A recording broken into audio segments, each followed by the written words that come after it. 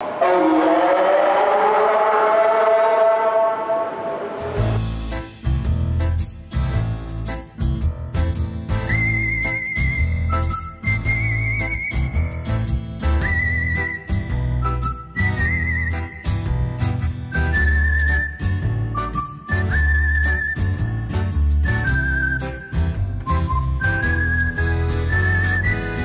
Unlimited biryani அதாவது ஊரில் இருக்கிற ஃபீலிங்கே இருக்காது. அந்த சால்னா எல்லாமே சூப்பராக இருக்குங்க ஃபஸ்ட் கிளாஸாக இருக்குங்க கைட்டு தானே கல கலக்கணும் பார்த்தீங்களா இல்லையா?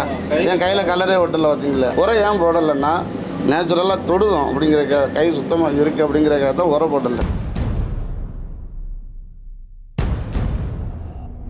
ஹலோ ஃப்ரெண்ட்ஸ் எப்படி இருக்கீங்க? நல்லா இருக்கீங்களா? ஓகே சூப்பர் நான் இப்போ எங்கே வந்திருக்கேன் அப்படி பார்த்தீங்கன்னா துபாய் நைஃப் அப்படின்ற ஏரியாவில் இருக்க. அப்பா கடை ரெஸ்டாரண்ட் அப்படின்ற ஒரு தமிழ் ஹோட்டல் தாங்க வந்திருக்கேன். இங்கே வந்ததுக்கான முக்கியமான ரீசன் இவங்க வந்து கிட்டத்தட்ட நாற்பது வருஷமாக இந்த ஹோட்டல் ரன் பண்ணிட்டு இருக்காங்க. மார்னிங் பிரேக்ஃபாஸ்ட் லஞ்ச் டின்னர் மூணுமே கொடுத்துட்ருக்காங்க எவ்ரிடே டிஃபன் அப்புறம் மத்தியானம் சாப்பாடு மதியம் ஈவினிங் வந்து டிஃபன் ஐட்டம்ஸ் கிடைக்கும். ஃப்ரைடே சண்டே மட்டும் ஸ்பெஷலாக இங்கே மட்டன் பிரியாணி கிடைக்கும்னு சொல்லி சொன்னாங்க. கரெக்டாக இந்த பஜார் ஏரியாவில் இருக்க எல்லாருமே வந்து அந்த பன்னெண்டுலேருந்து இந்த ஒரு மணிக்குள்ளே அந்த நமாஸ் முடிச்சுட்டு எல்லாம் இந்த கடைவாசலில் தான் வந்து நிற்பாங்க அந்தளவுக்கு ரொம்ப ஸ்பெஷலாக இருக்கும் அந்த பிரியாணின்னு சொல்லி என்னோட ஃப்ரெண்ட் சத்யா சொன்னா ஸோ கண்டிப்பாக நீ ஃப்ரைடே போயிட்டு அந்த பிரியாணி டேஸ்ட் பண்ணி பார்த்து ரிவ்யூ பண்ணு அப்படின்னு சொல்லி சொன்னாங்க அது மட்டும் இல்லாமல் இந்த மட்டன் பிரியாணி வந்து அன்லிமிட்டட் ஃபஸ்ட்டு நீங்கள் வைக்கிற பீஸு ரைஸ் இல்லாமல் நீங்கள் சாப்பிட்டு முடிச்சுட்டு எவ்வளோ கேட்டாலும் அவங்க ரைஸ் கொடுக்குறதா சொல்லி சொல்கிறாங்க அவங்க தான் வந்திருக்கேன். உள்ளே போயிட்டு கிச்சன் ஷார்ட்ஸ் அதுக்கப்புறம் ஓனர் டீம் பேஸ்ட்டு இந்த ஃபுட் எப்படின்னு டேஸ்ட் பண்ணி பார்த்து சொல்கிறேன் வாங்க வீடியோக்குள்ளே போகலாம்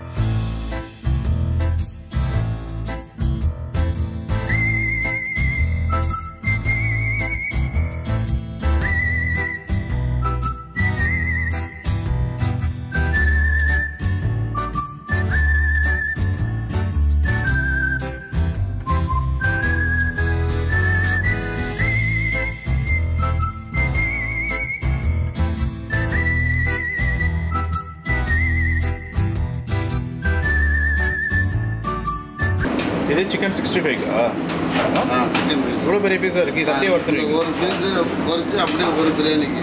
ஓ ஒரு பிரியாணி கொடுத்துருங்க. ஆமாம் ஒரு லெக் பீஸ் அதே மாதிரி இது வந்து ஒரு- ஒரு ஜஸ்ட் பீஸ் சின்ன சின்னதாக அந்த கட் பண்ணி போடுறது போன்லெஸ்னா வச்சா பல்காக வைக்கிறது தான் ஒரே பீஸ் ஒரே பீஸ் தான் பீஸ்னா ஒரே பீஸ் ஒரே பீஸ் ஆமாம் சிக்கன் பிரியாணின்னு கேட்டால் ஒரு சிக்கன் பீஸ் ஃப்ரை பண்ண சிக்கன் பீஸை வச்சு அப்படியே பிரியாணி கொடுத்துருவீங்க அதாவது இந்த ரைஸ் எடுத்துட்டு மட்டன் ரைஸ் எடுத்து இந்த ரைஸ் எடுத்து அதை வச்சு கொடுத்துருவீங்க எம்டி ரைஸ் எடுத்து வச்சு இந்த சிக்கன் வச்சோம்னா அது ஒரு சிக்கன் பிரியாணி மாதிரி ஒரு கணக்கு. இப்போ ஆனால் மெயின் வந்து மட்டன் பிரியாணி தான். பிரியாணி செய்யறதுக்கு என்னென்ன ஆட் பண்ணீங்க ஃபஸ்ட்டு இப்போ நம்ம ஆரம்பத்துலேருந்து பார்த்தீங்கன்னா வந்து நம்ம வெங்காயம் எல்லாம் தாளிக்கிறோம் இல்லையா?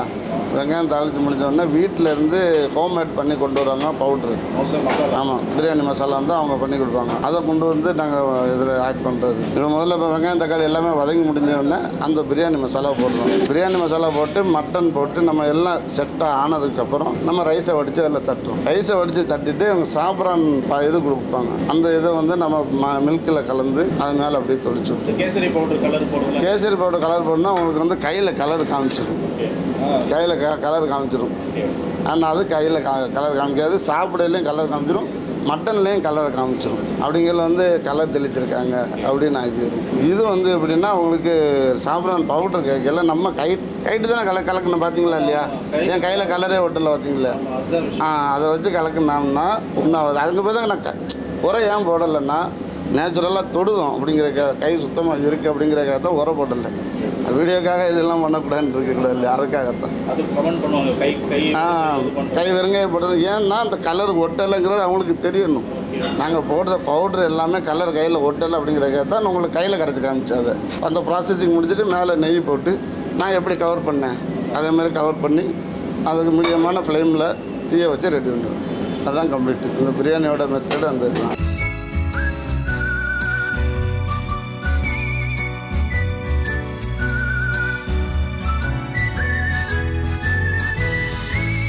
இன்னைக்கு பிரியாணி மட்டும்தான் அப்படின்றதுனால இந்த இதில் வந்து வெறும் தால்ச்சா ஃபுல்லாக ரெடியாக சுட சுட வச்சுருக்காங்க. இது வந்து ஆனியன் ரைத்தா நல்ல ஒரு திக்கான கேர்டு வெள்ளரிக்காயெல்லாம் போட்டு கட் பண்ணி போட்டு பண்ணியிருக்காங்க நெக்ஸ்ட் வந்து பைனாப்பிள் கேசரி. பார்க்கும்போதே சூப்பராக இருக்குது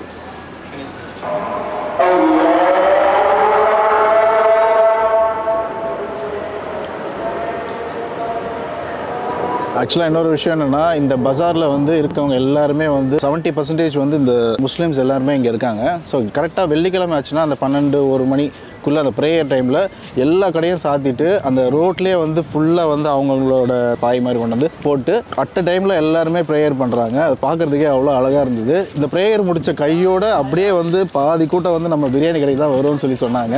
ஸோ அதையும் நீங்கள் அப்படியே கவர் பண்ணி பாருங்கள் உங்களுக்கே தெரியும் அப்படின்னு சொல்லி சொன்னாங்க. அதுதான் நான் இப்போ கவர் பண்ணிட்டு இருந்தேன். ஸோ அந்தளவுக்கு வந்து இந்த ஃபுட்டு வந்து ரொம்ப ஸ்பெஷலாக இருக்குன்னு சொல்லி சொன்னாங்க.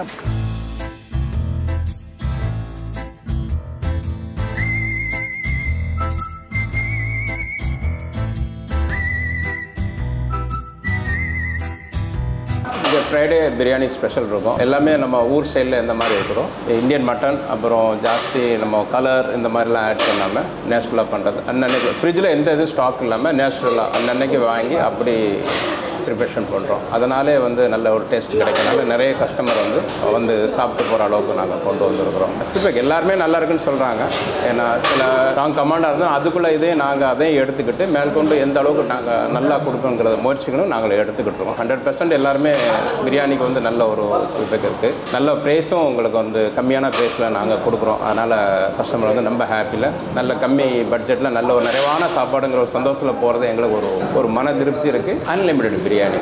அவங்க வயத்துக்கு எவ்வளோ நாள் சாப்பிட்டு வாங்கி பயிர்கிறாங்க அவங்க தேவைக்கு.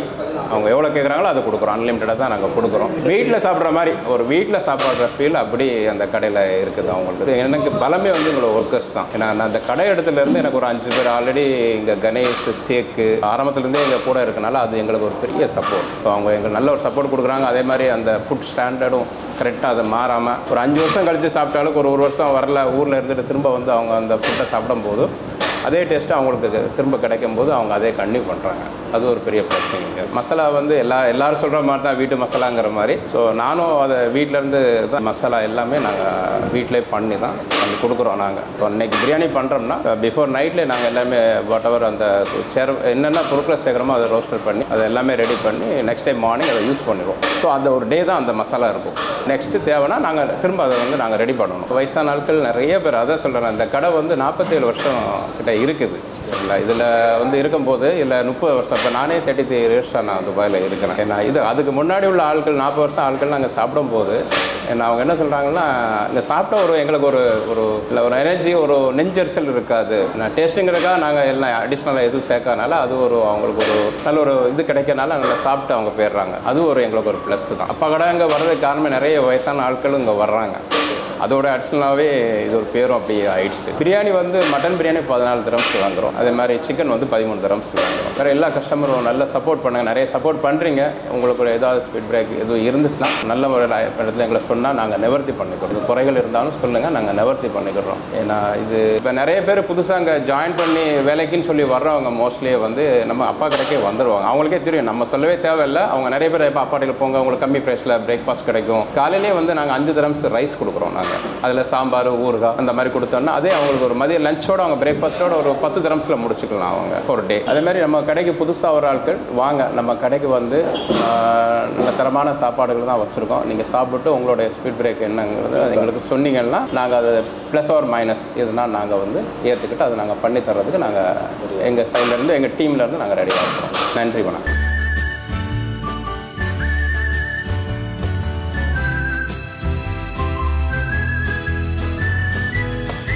என் பேர் கணேஷ் பாய். நாங்கள் ஒரு பதினாலு வருஷம் பதினாலு பதினஞ்சு வருஷமாக இருக்கேன். ஃபுல்லாகவே நம்ம தமிழ் ஃபுட்டு தான் எல்லாமே. இங்கே குக்கிங் பண்ணுறது எல்லாமே நம்ம தமிழ்நாட்டில் கிடைக்கிற ஃபுட்டு தான் எல்லாமே. எல்லாமே பிரியாணி ஃபேமஸ்ஸு அது இல்லாமல் டின்னர் ஃபுட் எல்லாமே நம்ம ஊர் ஸ்டைலில் சாலலாம் எல்லாமே கிடைக்கும். அதுமாதிரி பிரேக்ஃபாஸ்ட்டு கலரு அஜினமோட்டோ இதெல்லாம் யூஸ் பண்ணுறது இல்லை. எல்லாமே நேச்சுரல் அது நம்ம கலரிங்க்கு சாஃப்ரான் பவுடர் யூஸ் பண்ணுறோம் அதெல்லாம் மற்றபடி டேஸ்ட்டுக்கெலாம் நாங்கள் வேறு எதுவும் எக்ஸ்ட்ரா ஆர்டர் பண்ணுறதில்ல நம்ம இதுதான் மட்டன்லாம் இந்தியன் மட்டன் தான் நாங்கள் யூஸ் பண்ணுறோம் ஃபுல் அண்ட் ஃபுல் நம்ம தமிழ் கஸ்டமர்ஸ் ஜாஸ்தி வர்றாங்க. அது இல்லாமல் சம்டைம் பாகிஸ்தானி பங்களாதேஷ் கஸ்டமர்லாம் வருவாங்க.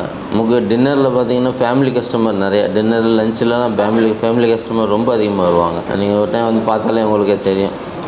ஃபேமிலி கஸ்டமர் நமக்குலாம் நிறையா. புதுசாக வர்றவங்க கண்டிப்பாக வாங்க. நம்ம கடையில் ஃப்ரைடே அண்ட் சண்டே வந்து பிரியாணி கிடைக்கும். லஞ்சில் ஸ்பெஷலாக இருக்கும் நல்லாயிருக்கும் வந்து இப்போ சாப்பிட்டுக்கலாம்.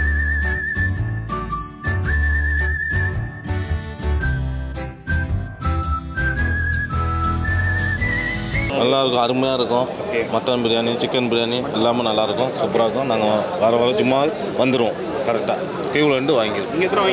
நான் இப்போ ரெண்டு வாங்கியிருக்கேன். நானும் தொண்டு. நான் வந்து இங்கே துபாயில் பத்து வருஷமாக இருக்கிறேன். நான் அப்பா கடையில் தான் ரெகுலராக சாப்பிடுவேன்.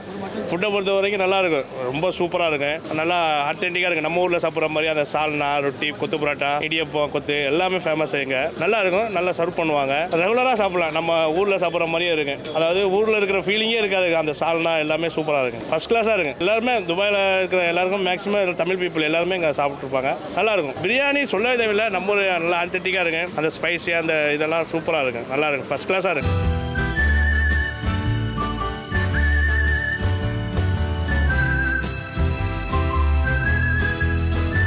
அப்பா கடை வந்து பேர் வந்து பழமையான பேர் தாங்க. அந்த பேர்லேயே வந்து இவங்க வந்து ரன் பண்ணுறாங்க மற்றபடி சாப்பாடு எல்லாமே நம்ம தமிழ்நாட்டு சைடில் சூப்பராக இருக்கும். பிரியாணி சைவம் எல்லா சாப்பாடுமே. நாங்கள் மோஸ்ட்லி வந்து தமிழ்நாளுக்கு நிறைய பேருங்க தான் சாப்பிடுவாங்க. ஒரு நல்ல ஃபுட் சாப்பாடு. பிரியாணி சூப்பராக இருக்கும். மற்றபடி எல்லாமே நல்லாயிருக்கும் நல்லா கவனிப்பாங்க. நல்லா சூப்பராக இருக்கும்.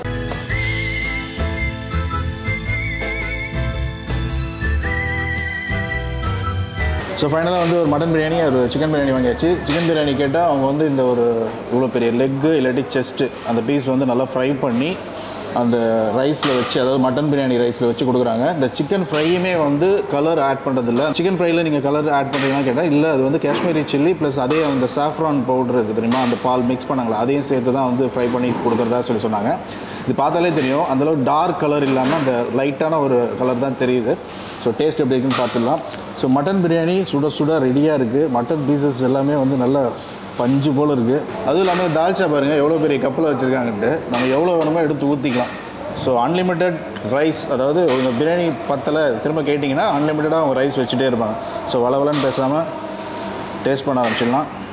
ஃபஸ்ட் எடுத்த உடனே ஸ்வீட்டில் வந்து ஸ்டார்ட் பண்ணலாம். இது வந்து பைனாப்பிள் கேசரி சொன்னாங்க.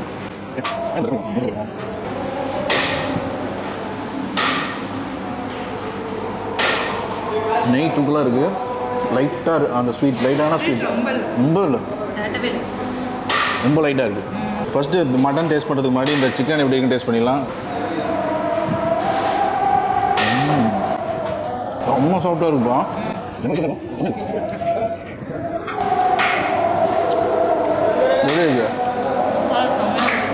இந்த ஒரு லைட்டான மசாலா. காரம் ஜாஸ்தி இல்லை.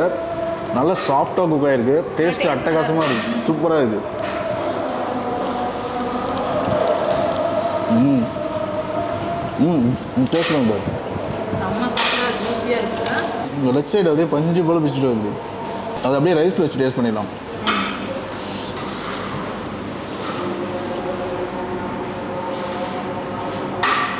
சூப்பராக இருக்கு பிரியாணி ஆ? நல்ல ஒரு மசாலா. அதாவது ஒரு சட்டிலான மசாலா. டேஸ்ட் அட்டகாசமாக இருக்குது சாப்பிட்றதுக்கு கொஞ்சம் சென்னை ஸ்டைல் பிரியாணி மாதிரி தான் இருக்குது கம்ப்ளீட்டாக பட் ஆனால் ரிச்சான இன்க்ரீடியன்ஸ்லாம் யூஸ் பண்ணி பண்ணால் எப்படி இருக்கும்? அந்த அளவுக்கு ஒரு நல்ல ஒரு ஃப்ளேவரபுளாக இருக்குது இந்த பிரியாணி எண்ணெயும் ரொம்ப இல்லை ம். இந்த சிக்கனோட சாப்பிடும்போதே இவ்வளோ டேஸ்ட்டாக இருந்தால் அப்போ மட்டனோட சாப்பிடும்போது எப்படி இருக்கும்? மட்டன் டேஸ்ட் பண்ணிடலாமா? மட்டன் பீசஸ் பாருங்கள் எவ்வளோ சாஃப்டாக குக் ஆகிருக்கு இப்படி தெரியுது அப்படியே பிச்சுட்டு ம். தரமாக குக் ஆகிருக்கு மட்டனு மட்டன்லேயே மசாலா ஜாஸ்தி இல்லை. அந்த மட்டனோட ஃப்ளேவரு லைட்டான ஒரு மசாலா. ஸ்டூ பண்ணி ரொம்ப ஸ்டூ பண்ண தேவையில்ல. அப்படியே பஞ்சு போல் வெந்திருக்கு மட்டன் பக்காவாக இருக்குது மட்டன் பீஸோட ரைஸ் வச்சு டேஸ்ட் பண்ணிடலாம். எடுத்துக்கோ. பா அந்த டேஸ்ட் அப்படியே நிற்கிது அந்த மட்டனோட அந்த ஃபேட்டு ஆமாம்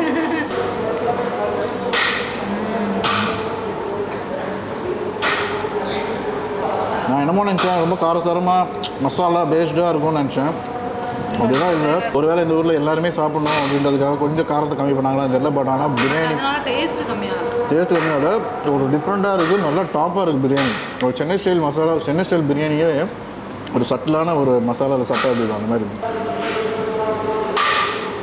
அப்படியே எந்த ஒரு ஆர்ப்பாட்டமும் இல்லாமல் அப்படியே லைட்டாக போகுது உள்ள. இந்த தால்ச்சா டேஸ்ட் பண்ணினா மட்டன் பீஸோடு வச்சு அந்த தால்ச்சா நல்லா அப்படியே ஒரு பரட்டு பரட்டிட்டு.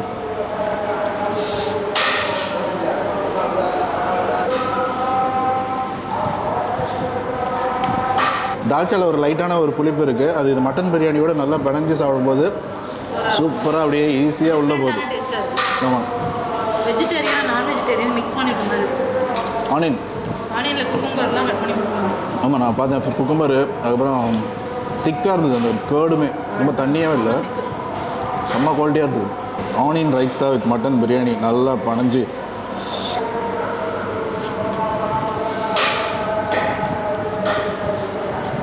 சாப்பிட்டு முடிக்கும்போது நம்ம மனசுக்குள்ள ஒரு சாட்டிஸ்ஃபேக்ஷன் கிடைக்கும். அது நல்லா இருந்துச்சு அது டேஸ்ட்டாக இருந்துச்சுன்னா நம்ம மனசுக்குள்ள ஒரு சாட்டிஸ்ஃபேக்ஷன் கிடைக்கும். நம்பா ஒரு நல்ல ஒரு சாப்பாடு சாப்பிட்டோம்ப்பா இன்றைக்கி அப்படின்னு.